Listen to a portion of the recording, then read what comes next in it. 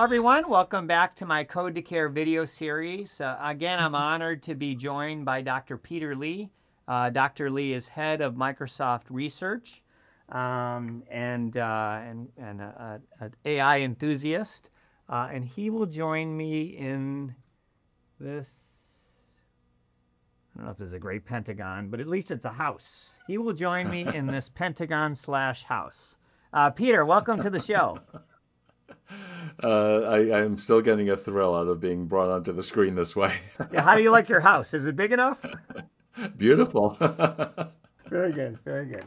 Um, so, what I wanted to ask you today is, um, you know, uh, your personal use of Gen AI, I guess, or AI in general, and like what you would advise people. You know, people that are know it's exciting, know it's something they should learn and know something about, but um, but maybe struggle to figure out well, how, how, I mean I'm not an engineer maybe you know how how do I learn these tools and stay current so I can be you know important and and help my organization move forward in this new new world. So I wonder if you can kind of talk through how you think about that, what you personally do, for instance, that kind of thing. Sure, uh, Don. And, you know, as we've talked about before in previous conversations, um, I think we're all lacking in imagination. Um, and I put myself in that same uh, boat. Uh, but uh, for sure, uh, generative AI is something that I use every day. Um, even back uh, now two and a half years ago when with Carey Goldberg and Zak Kohane, we wrote our book about GPT-4 in medicine.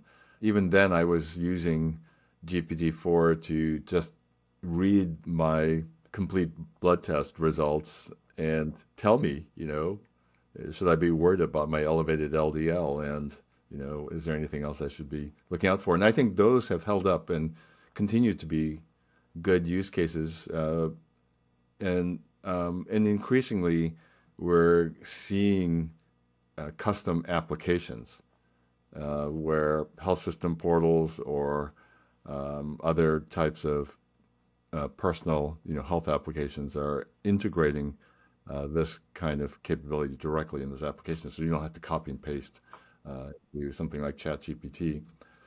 More in my line of work here, leading Microsoft Research, uh, one of the things that happens, of course, is uh, there's a tremendous amount of research that happens across our 14 laboratories around the world I always feel uh, some obligation to stay on top of the work that's going on.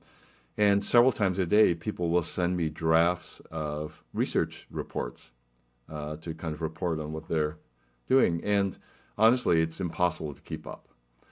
Um, and so, one of the simplest things is to get the assistance of AI to read these papers and summarize them for me, uh, suggest places uh, where I should zoom in. And increasingly, the AI is having the memory to understand you know, what I've seen before in my context and, and is getting smarter uh, about uh, those things.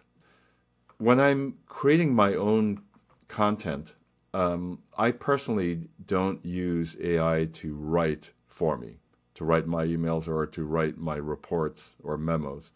Uh, I, I write them, um, but um, oftentimes uh, I can engage in a conversation to improve these things. So, uh, to give you two examples, working for the National Academies, I was leading a report writing effort.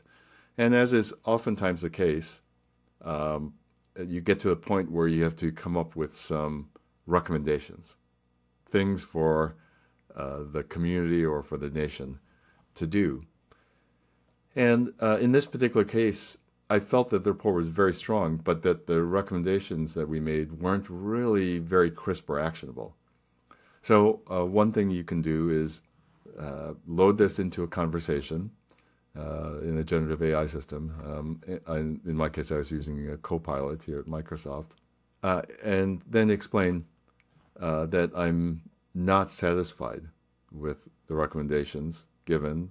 Uh, I don't feel that they're crisp enough, they're, they're actionable enough uh, can we have a conversation and brainstorm about how to improve this? Um, and to engage in that sort of brainstorming conversation, um, you know, it it really helps to sort of create new ideas. Uh, uh, I even do that conversation sometimes in my commute to and from work, um, you know, uh, through the car's Bluetooth. Um, a- another example similar, I had to give a commencement Actually, speech. before you before you um, go into the next example, it's interesting how you phrase that. So instead of asking, you know, the the um, LLM to just write better recommendations, your sort of prompt was, "Let's have a conversation on it," or "Let's brainstorm on it." It seems, and I think that's a helpful way to think about allowing these tools to help you without taking away your own voice. It's just That's right. prompting as a s- uh, to be a sounding board versus, "Hey, give me the answer." Yeah. And you know, maybe I'm a dinosaur and uh, I should be giving the AI more responsibility. But you know, for me, uh, I think a big part of the meaning and purpose I have in my work, and and I feel better about the quality of the end Sure. if uh, if you know I've uh, done this.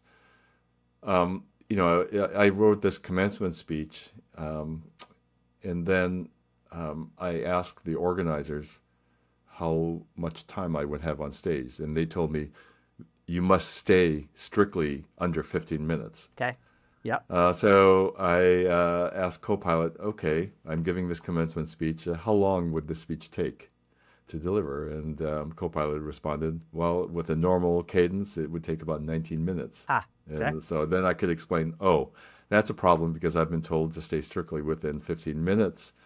Um, and uh, I wonder if you have suggestions about, you know, how I might tighten this up. And again, it's a conversation. Right. I can reject some ideas. I can accept some ideas. Yeah. We can go back and forth. Mm-hmm. You know, it's it's something that, let's face it, none of my coworkers would feel like it would be an exciting thing to have a conversation with Peter Lee about how to shorten a speech. and and That's so. You have a know, willing this kind of- participant for nearly anything. right. Hey there. I'm just popping in to say that I'd love to hear your comments and feedback on this video. I read all the comments, so let me know what you think. Let me know what suggestions you have for my next video by uh, putting in some comments uh, below the line here. Thanks.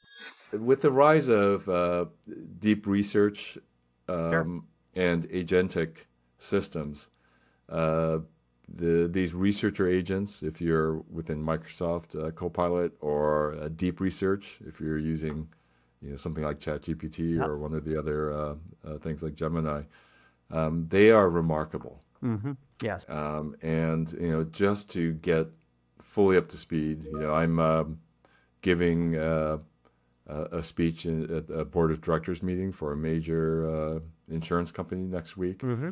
and the researcher agent really, you know, uh, I have uh, my talking points. I can say, you know, given this, um, you know, uh, ask a researcher agent to uh, do some research on the salient touch points and uh, issues that this board of directors might be most interested in or might be really uh, most top of mind for them uh, so that we can refine uh, how I talk about Right.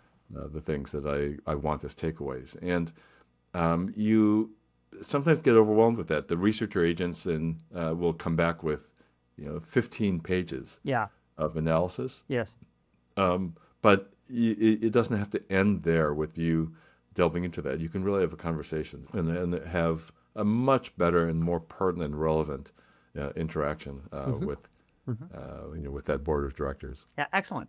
Those are great. Those are great personal use use cases, and I think they reflect, you know, using Gen AI to be helpful, but not take away your voice or your work or you know that kind of thing. It's the way, um, you know, the way we as people kind of work together to refine a work product. Can kind of add AI into that into that conversation and uh, and have it help out. Well, I, I think, uh, of course, there's always the entertainment value of converting things into uh, a cartoon or Sure. a podcast as Sure. well, which I which I still enjoy. yeah, yeah, yeah, yeah, yeah. Great, great. Well, thanks again, uh, Peter. Really uh, appreciated you having having you on the show, and uh, have a good day. Thank you. Great to be here. Great. Thanks, everybody. Uh, that's it for this episode. Until next time. Bye.